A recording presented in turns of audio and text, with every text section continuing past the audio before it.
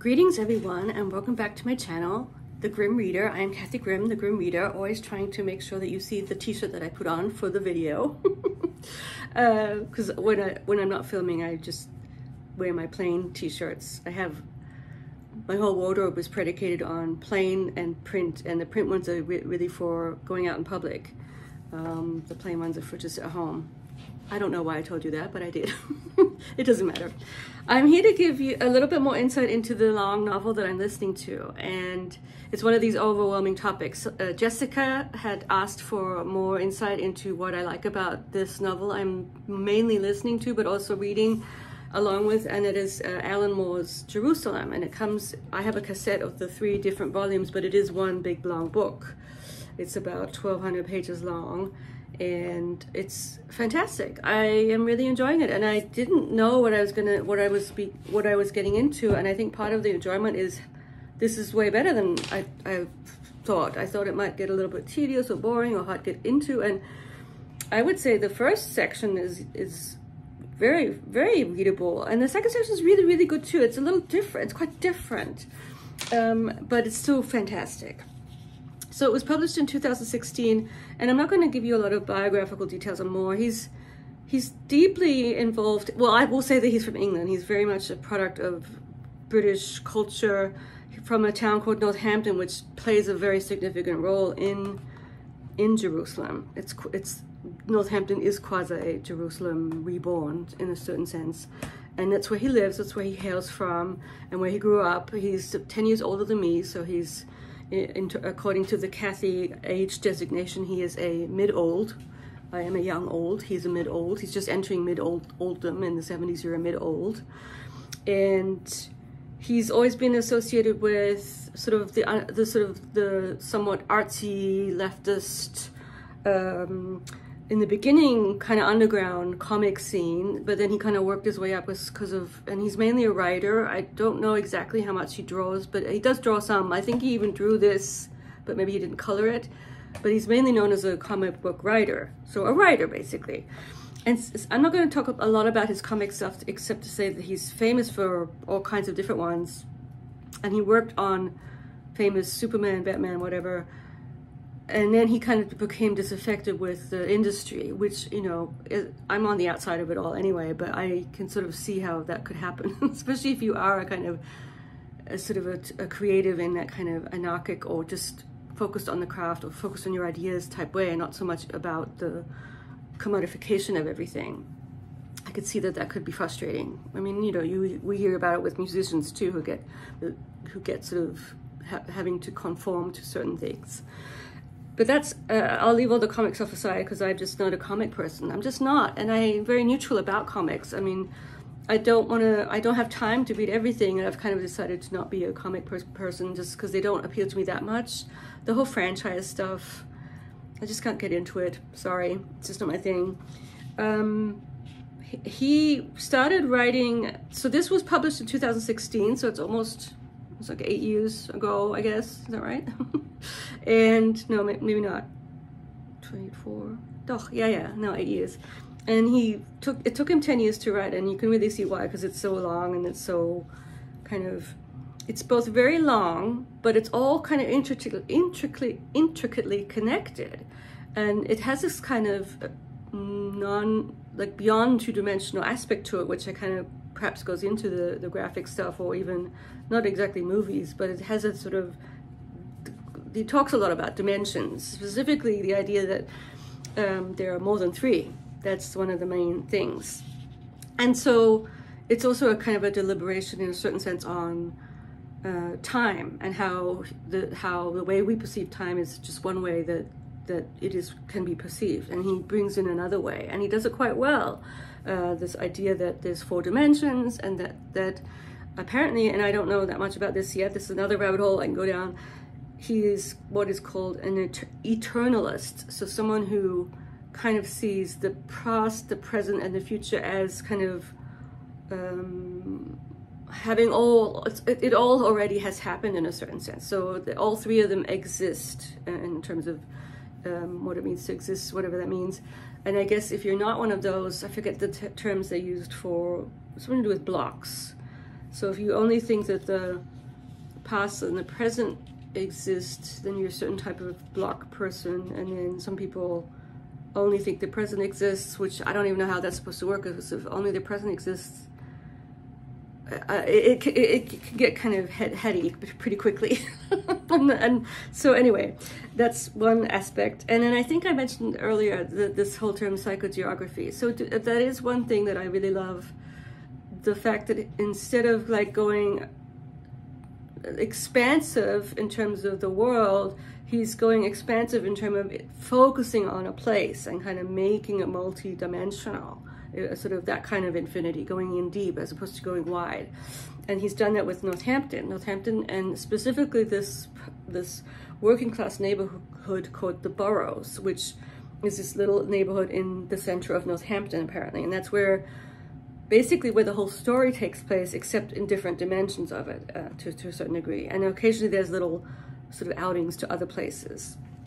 And so connecting your big, expensive novel very specifically to it being about a place and in, in a way that's part of the plot. The plot is has to do with the the fact that Northampton plays a special role in in English history to do with a monk who brought back a cross from one of the crusades and was told by an angel to build they, they, they had to build a church where he brought the cross back and there's a church, the Church of St. Gregory is in, in this area.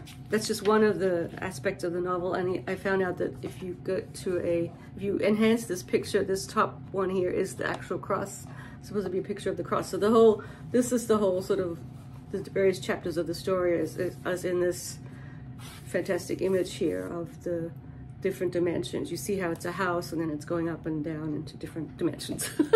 so there's that. And I saw, I was look, looking around how to explain it, and even the blurb on the back, which I think he may have written himself, I'm not sure. It's quite well written, so it sort of fits. Sometimes blurbs are not so great, but I wrote here, or I got it from the internet, a supernatural historical fiction. So it's on the one hand, there's a lot of history in here, and a lot of sort of famous people, like Charlie Chaplin pops up, and other famous people. And later on, I think of the third volume, it's going to be Lucia um, Joyce, the daughter of jo James Joyce, who spent some time in an asylum in Northampton, or a lot of time, most of her life, I think. And so, but it's supernatural because it's, it's, uh, and he's obsessed, even beyond this book, with the liminal, the, the veil between the, the before and after lives that we live. So death and birth, these, these kind of, you know, big events in our lives for, for obvious reasons seem to be something that he thinks about a lot and the transition from one to the other. Both of them uh, are seem to be intriguing to him. He has sort of come out as someone who does practice magic. He's an occultist. He's interested in this this kind of and he even has albums. There's a, an album of music that he's made with other sort of occultist friends. So this is sort of a later part of his identity. Is that he's become interested in spirits and spirituality and, and all that stuff and the parapsycho parapsychology of, of a certain sort. And there are a lot of ghosts in here too. You know, it's about ghosts, and I'm all fine with that.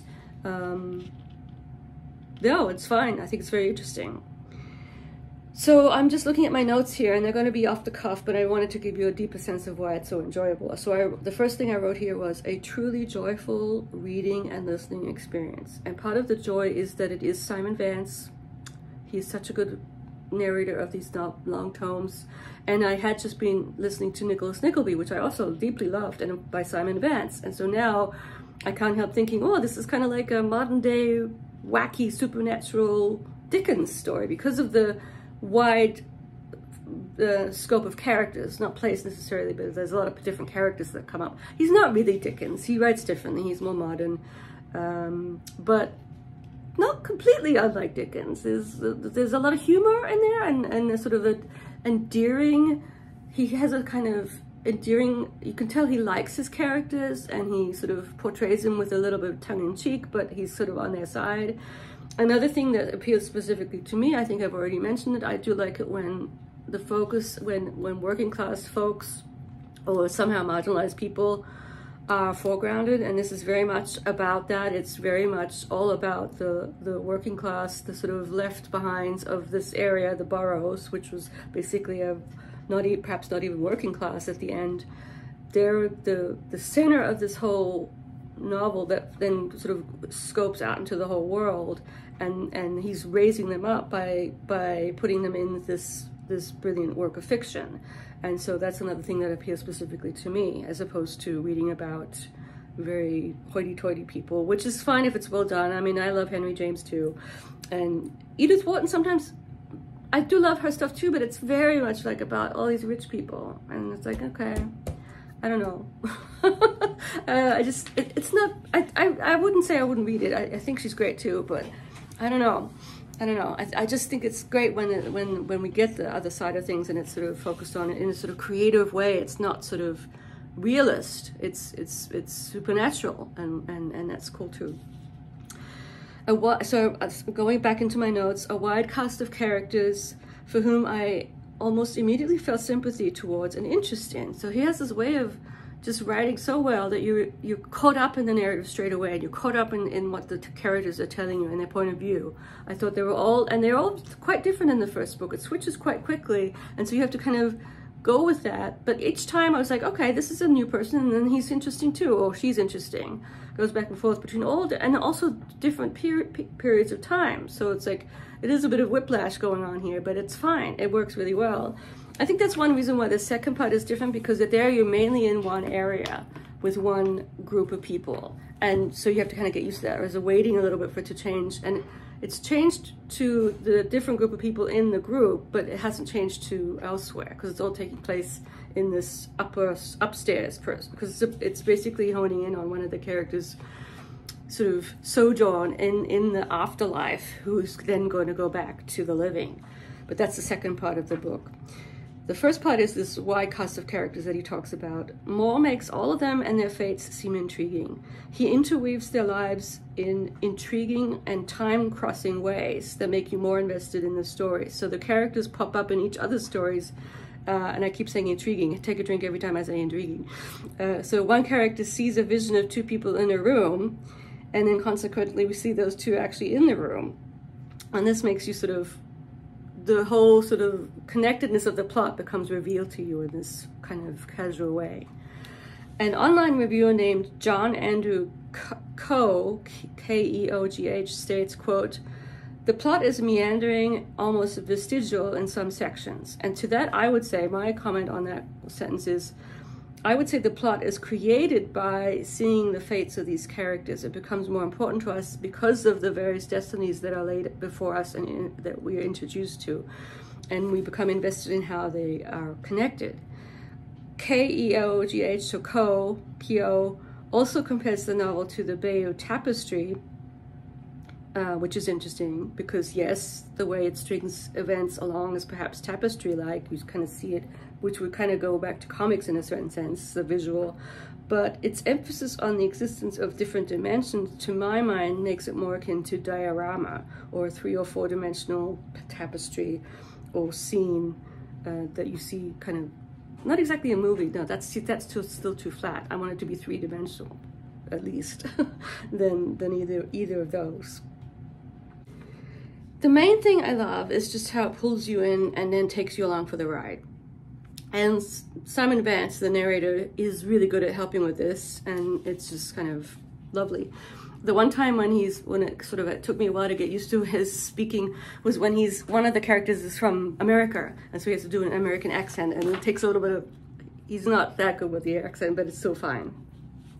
Here's another sentence from the review uh, that I'll post a link to from Kyo Keogh's review that I wholeheartedly agree with, and I think it's really nice. He writes here, quote, it's holy and profane, poetic and pedestrian, beautiful and gritty. It's deeply human. It's hard to explain. You really need to read it.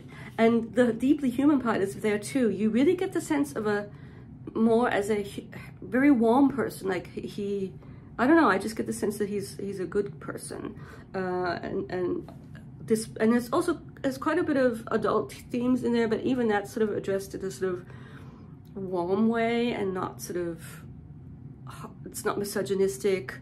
Um, and it's always from the character's point of view, but there's there's a sort of there's a wholesomeness to it almost I would say even though it's sort of addressing somewhat dark themes sometimes but I, I think I mean even though it has everything in there all of life's in there life and death and in between it's still sort of that as I have said I also concur with Keller's praise for Moore as a writer. Yes, it is indulgent, but I would concur never overly so. And I don't think there's too many, it's not overly wordy. It is poetic, it is lyrical. Um, I should have prepared a quote for you guys. Actually, I was just reading one that might work. It's in this one of the chapters here. It's kind of where I'm at right now.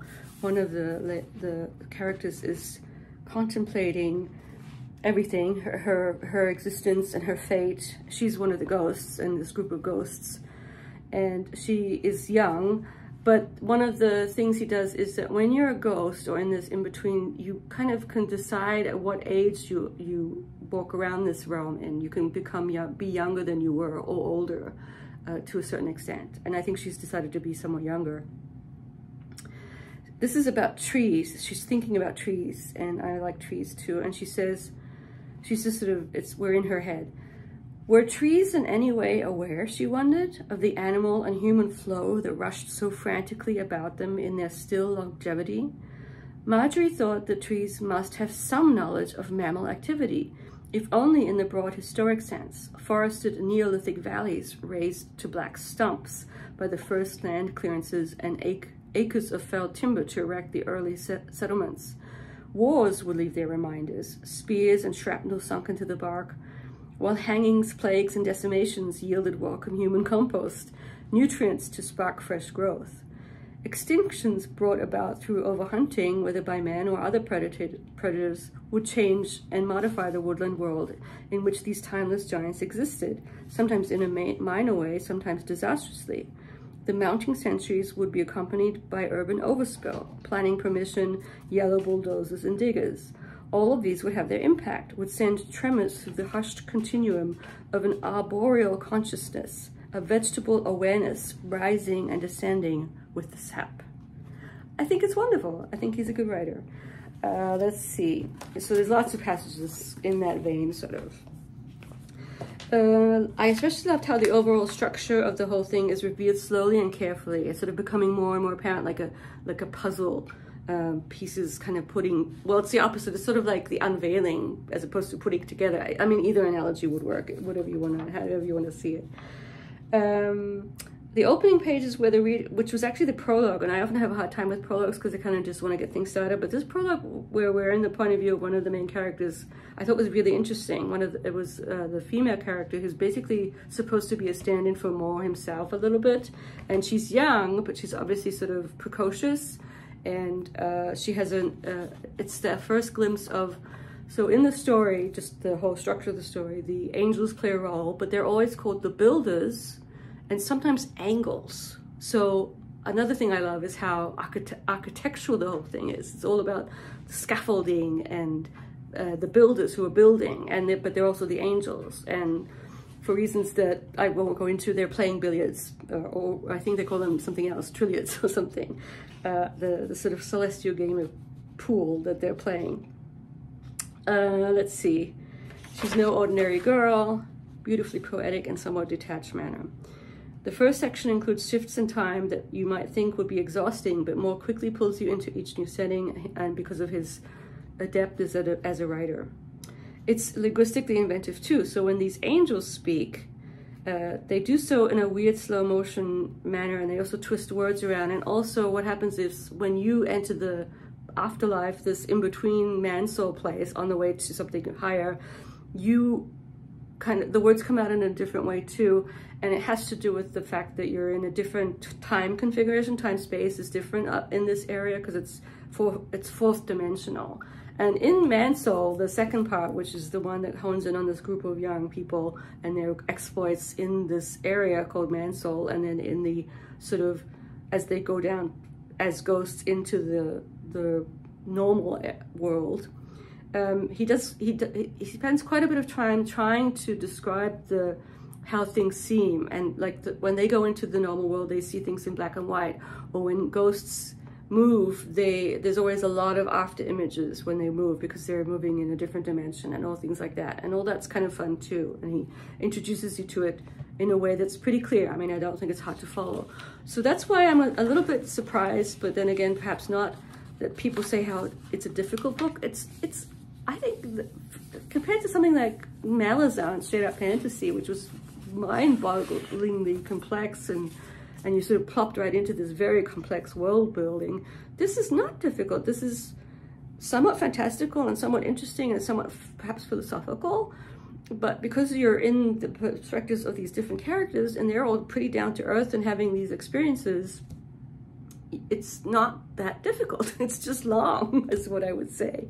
And so those are my initial thoughts, and I will try and, at least in my more, hopefully more regular wrap-ups, I'll talk again about when I actually finish the book. This was, I know I haven't finished the whole thing, but I don't think I'll, I'll come back and talk about specifically the, the last section.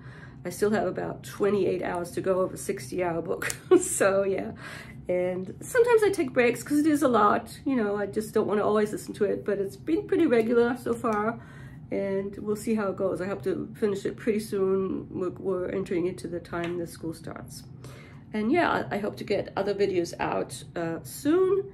And thank you all for watching. Hope you this was sort of interesting to people. And I'll talk to you soon. Bye.